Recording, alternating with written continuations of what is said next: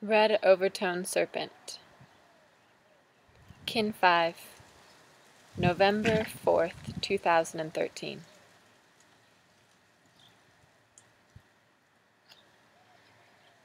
Red Overtone Serpent. The tone is overtone. Tone 5.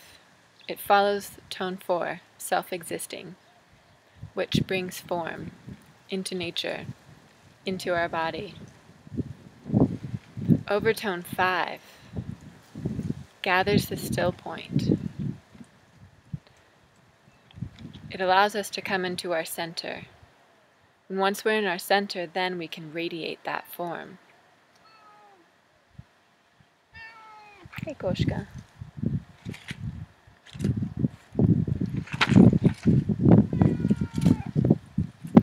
Tone 5 enlivens tone 4. It enlivens the form of our lives, the seeds that we've planted, that which is at our heart's desire. Today we have the ability to find the center place within and then radiate and share with others out. It calls out that still point within us and our center of gravity, our breath. And it allows us then to be in self love, in our stillness, and in our authenticity. It also provokes us to attune to our truth and to radiate that knowing. It's like, I think of in nature, um, the rose family is characterized by five five petals or um, five seeds that creates that star. And when we look at it, careful, careful, careful. And when we look at it within a flower, for example, that has five petals, there's the center. So the petals on the flower are able to move and entice the bee along to pollinate it, if you will, because it's centered. It has a solid foundation. It has its form, its still point, and from there, the petals.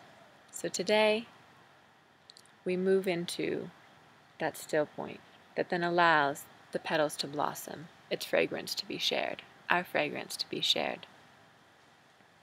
The solar tribe today is Red Serpent. Red Serpent is our primal nature. It's our life force and our vitality.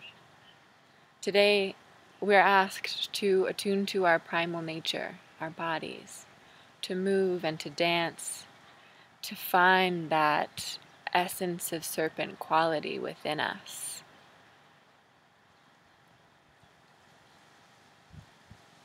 It represents our instincts and our sensuality, how we feel and move. Today, let us remember together that our body, this human vessel that we have, holds incredible opportunity and potential. And so let's nourish and nurture our bodies today for the simple act, the simple knowing that it that it is that it is our vessel that holds incredible opportunity. Our serpent bodies are gateways. They're gateways beyond the body, allowing us to access greater wholeness. The serpent energy is within us referred to as Kundalini energy, that which resides at the base of the spine and moves progressively upward, awakening life force and creative powers.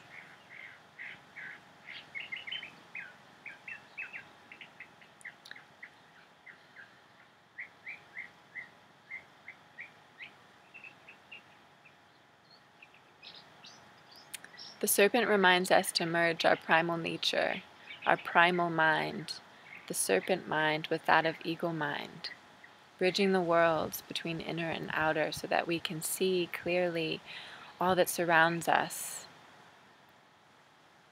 and understand its place.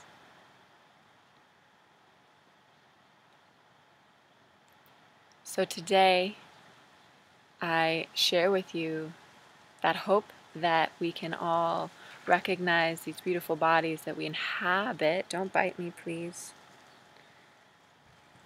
Um, there's a cat in my lap that just bit me.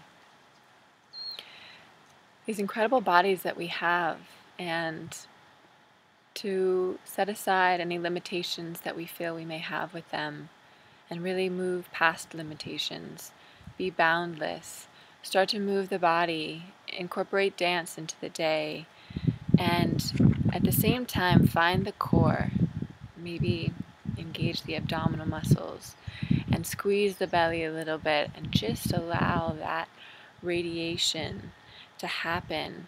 Serpents are really amazing to watch. Snakes, you know, they're like one muscle, one organism, and they have such power and force.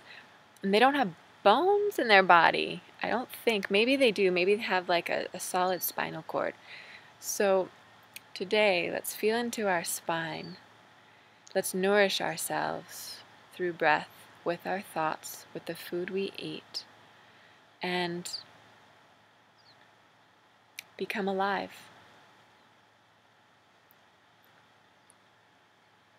Red Overtone Serpent says, I am power in order to survive, commanding instinct.